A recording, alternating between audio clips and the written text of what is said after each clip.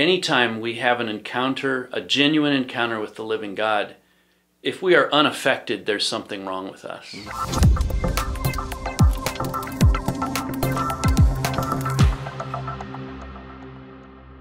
So, how are you at Jeopardy? Oh, I'm not as good as I want to be. Oh, well, that's too bad because we're going to play a round oh, boy. of Jeopardy. All right. The category is Yeah. classic rock and roll. Oh my. Okay. A reminder that your answers must be in the form of a question. Okay. Are you ready to play? I think I have the question. Who is Led Zeppelin? No. Oh! Here's uh, here's the first answer. Of the 40 greatest Led Zeppelin songs of all time, Ah. this song was ranked second best by Rolling Stone magazine in an article from 2019. Okay. What is Stairway to Heaven? That is correct. Yes. Second question in the category classic rock and roll. On January 23rd, 1991, radio station KLSK in Albuquerque, New Mexico, played this song for 24 hours straight to inaugurate the station's format change to classic rock. Okay. Uh, what is Stairway to Heaven? That is correct. Question number three in the category classic rock and roll. In 1982, televangelist Paul Crouch went on a crusade against this classic rock song, suggesting that when played backwards, it was filled with satanic messages. What is Stairway to Heaven? That is correct. and to finish the category, this classic rock song is written in the key of A minor and opens with arpeggiated finger picked guitar chord progression with a chromatic descending bass line of A, G sharp, G, F sharp, and F. know nothing about that, but I'm going to guess an answer or a question. What is Stairway to Heaven? Ding, ding, ding, ding, ding. That is correct. You sure know your classic rock, rock and roll. I, that's amazing. Now, I think that there is actually uh, a rumor. It's like a old wives' tale. Yeah. That music stores refuse to allow people to play the riff from Stairway to Heaven when they're testing out guitars. Oh. okay, that could I, be- I think it's I think it's not actually true, but there's a lot of uh, internet memes and things like this I where see. the guitar manager comes out and says, "No, no," Yeah, puts a stop you know, to it right yeah, away. Yeah, yeah. well, that is Senior Pastor Scott Burkle. He is the Senior Pastor of East White Oak Bible Church. Of course, my name is Alex Trebek. ah, no, I'm Treg Whitaker. I hope not, because he's been gone for a little while and did not come back from sabbatical. rest in peace, Alex. uh, and this is the Ask Scott podcast. So, some of our um, viewers might be asking the question what is all that business about Stairway to Heaven? Well, obviously, you were preaching from Genesis chapter 28 uh, Yes. this week, and it's the Stairway to Heaven passage, Yes. or Jacob's dream, or Jacob's ladder. That's where you were Yeah. uh, this Sunday. And it sparked a few questions. Sure. Shall we answer them? Oh, let's go for All it. right, let's get into it. First question Where do we find reasons for joy in this text of Scripture? Yeah, I, I have to tell you, I actually asked Trig to ask me that question.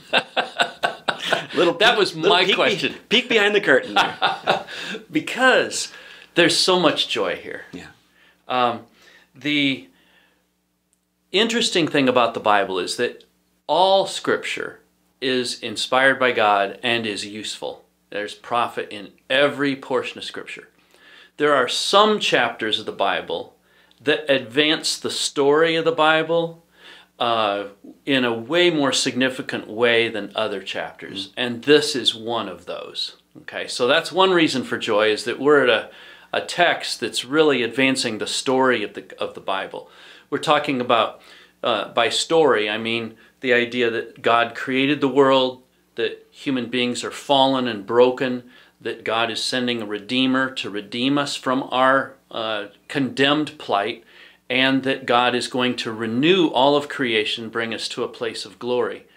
And He's going to do that uh, by having a man whom He blesses into a family that becomes a nation that that from that nation comes a savior through whom there would be a blessing to the nations. Hmm. And so this story advances, or what happens in chapter 28 of Genesis advances that story by making Jacob the heir of the promise of God and God appearing to Jacob in this dream.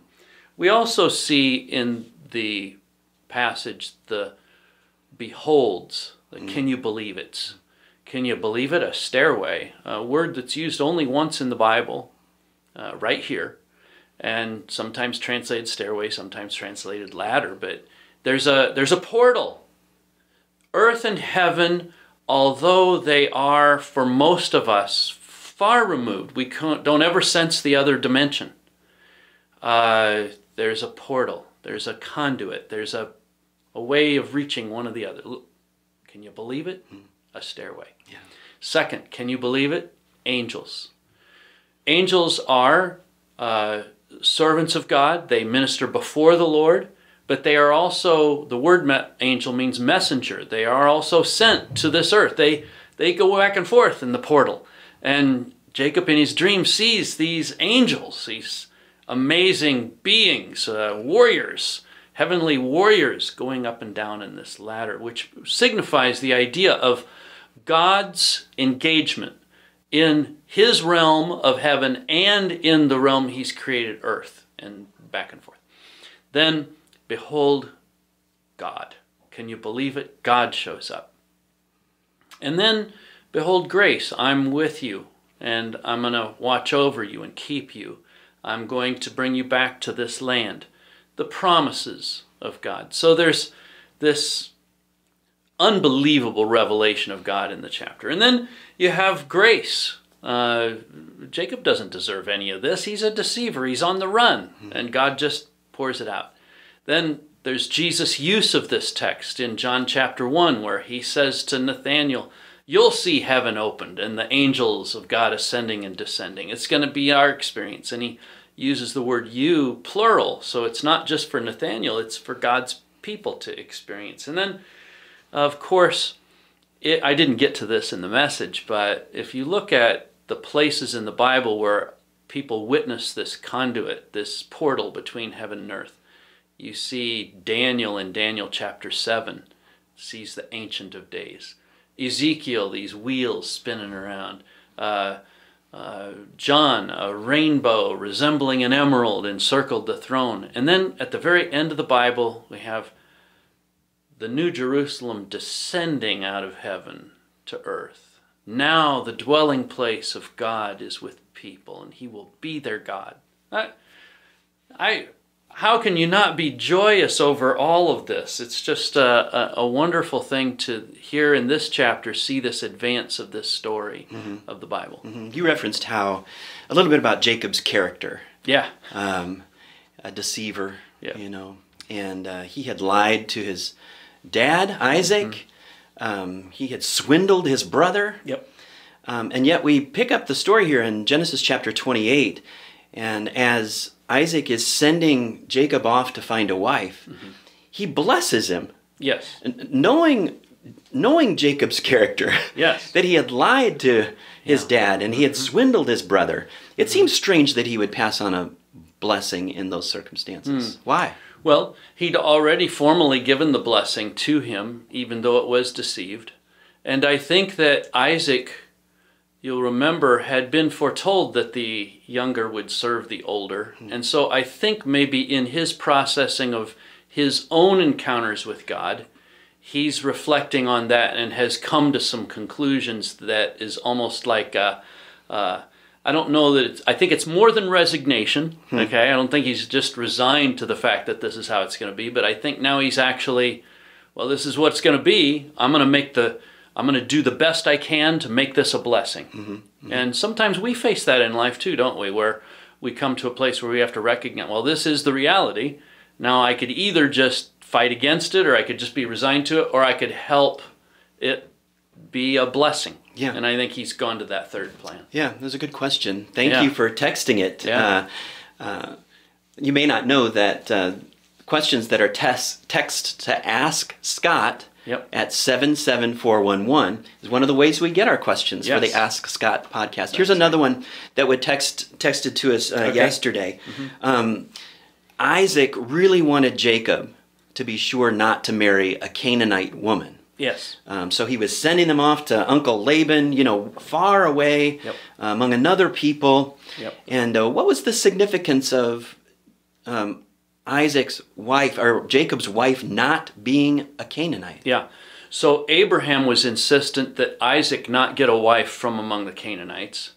And Isaac is likewise, uh, and Rebekah both are insistent that Jacob not get a wife from among the Canaanites. Uh, and the reason is because of that's the culture they're living in, and they do not want this family to get synchronized into just becoming Canaanite. And you're going to see this all through Genesis the threat of this family becoming amalgamated into Canaanite culture and religion. It would take me longer than we have time for to describe the horrors of the Canaanite world and the Canaanite religion, but let's just leave it at this. It was highly sexualized and evil and had to do with child sacrifice and mm-hmm. all manner of bad things. Mm-hmm. And that does not mean that where uh, Isaac and Rebekah were sending Jacob was to a pure place where everybody lived in peace and light Right. but they at least acknowledged that the Lord existed. Hmm. Okay? Now, he existed as one among other gods, but they at least acknowledged that. And they weren't part of the existing culture, so there was no threat of Jacob being amalgamated into that culture and coming back to the land. It wasn't going to happen. Okay. So Jacob heads off on this trip Yes, uh, to find Uncle Laban, right. right? And uh, he has this dream. Yep. Um, I wonder what the place of dreams and visions is in the life of a Christian. Does the Lord still use dreams and visions? Yeah. Um, I my answer is a qualified one. Um, what we have to recognize is that not every dream is revelation, and so we should be tested everything against Scripture. But it doesn't mean that we should exclude the possibility. Okay. Uh, for example, there are many people in the Middle East who have, by virtue of their exposure to the gospel through, uh, oh, Trans World Radio, things like that, the internet, they've heard the gospel, and then they'll have a dream that in some way confirms that what they are hearing, this is the truth. Uh, or they have a dream that gets them on a search where they find something like Trans World Radio or the internet that introduces them to the gospel. It goes both directions. Uh, and I don't discount the possibility of God doing that. At the same time, I would say that we should never depend upon such a thing. Uh, m- dreams are still in that realm of the we don't know category. Yeah. Even among secular psychologists, there's whole avenues of research. What's going on when you dream? You know, and in some ways, uh, some of the studies suggest that it's the way in which our subconscious is processing the realities of what's going on in our day to day life. But some of our dreams are so unusual that I'm not sure that we could take that as mm-hmm. like that's the answer to all dreams. Mm-hmm. Certainly not to this one. And then I think we can also recognize that there are some dreams that God induces, and that's one that happens here, right? And to try to sort out which ones are which requires the help that we have from the Bible. Mm-hmm. One of the responses that uh, Jacob has to his dream and his experience with the Lord Yep. is an awe. He was afraid. He was, I think the word that you used, I think, was overwhelmed. I feel like it was emotional. It was, Yes. it was stirring for him. Very much so. And I, I was, uh, honestly, I was brought up uh, in a context, in a Christian context, where we were a little skeptical of those Christians that were emotional. You know, we wanted to steer away from Mm. Mm-hmm. Okay, yeah. emotions. yeah. Uh, but maybe there's a proper balance? Help us with the emotional response to the Lord. Some of it's personality driven. Um, some of us are more emotional than others. Uh, some of it is our backgrounds and how we're raised. But I think that anytime we have an encounter, a genuine encounter with the living God, if we are unaffected, there's something wrong with us. Mm-hmm. There's something wrong in how we're responding. Jacob is not unaffected by his encounter with the living God. And I think that the thing we take away from this is that when we have encounters with God, whether it's in His Word or in our day to day lives, it would be very valuable for us not to be unaffected by it, Yeah. but rather to allow it to uh, engage our whole self, uh, including our emotions. Yeah. Uh, the danger, I suppose, is that uh, when churches try and manipulate a situation in order to stir Yeah. emotions, Yeah. uh, apart from even the truth sometimes, Right. Right. Right. And that can be a that can be a danger. You know, it's interesting because the Spirit of God does what He wants to, right? He blows, Jesus said, he, it's like the wind blows where He wants to go. And sometimes uh, in church, where you have a taste of it, you think, oh, we want more of that. What did we do to make that happen? Let's do more of that. Yeah. And that becomes a manipulation, uh, and uh, uh, sometimes we don't get what we want, and we feel disappointed. So then we feel like, well, then we got to figure out how to, con- you know, how do we manufacture this? Uh, I've had experiences. For example, we have two services at East White Oak, and where in the first service we have this amazing encounter with God, and I'm talk to our worship leaders. I go, what just happened there? And we don't know, you know. And then we go to the second service, and it doesn't happen. Right. And we do it, did virtually the same things. Um, and what we have to recognize is that we're not we're not in charge of trying to find that whatever that I, I would say it's the uh, a, a special awareness of the presence of God. Uh, that's not our job. Our job is to present the Word of God and let the Spirit of God do His work. Uh, another response that uh, Jacob has to his experience with the Lord is a vow, a pledge Yes. to a tenth of every future Right. um, asset of, of Yeah. his. Yeah. Uh, is this where we get the idea of the, the tithe? Well, that comes before that. Uh, Genesis 14, Abraham gave Melchizedek a tenth. Uh, and so I think that there's some precedent that probably lives on in the family legacy there. Um, I don't think that uh, uh, we need to keep it. We need to keep distinct uh, in terms of our interpretation of Scripture what is descriptive and what is prescriptive. This is describing something. It is not prescribing something. It's not saying, "Hey, Jacob gave a tenth. Now you'd better get."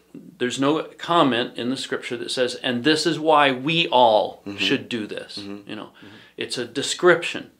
Having said that, even in the descriptions of the Bible, we can find principles. Okay, so for example, uh, Jacob says, "All that you give me." You know, well, he knows that it all belongs to God, a hundred percent, right? Yeah. Uh, of all that you give me, I give a tenth. Um, so he's recognizing some principles there. God owns it all, right? He also recognizes that as a response to this amazing encounter with God, he needs to have some tangible way of being able to respond in worship. And one way to do that is through our material uh, substance that the Lord has blessed us with. Thank you, Scott. Yep. And thank you for texting your questions to 77411. Just text, text, text Ask Scott to 77411. We'll do our best to say that Yes. and to answer your questions the next time we were together. Uh, you can find the Ask Scott podcast on our YouTube channel that is at East White Oak, or follow us on Facebook and Instagram. We look forward to you joining us the next time when Pastor Scott will once again answer your questions about the Bible on the Ask Scott podcast. And welcome back. Thank you.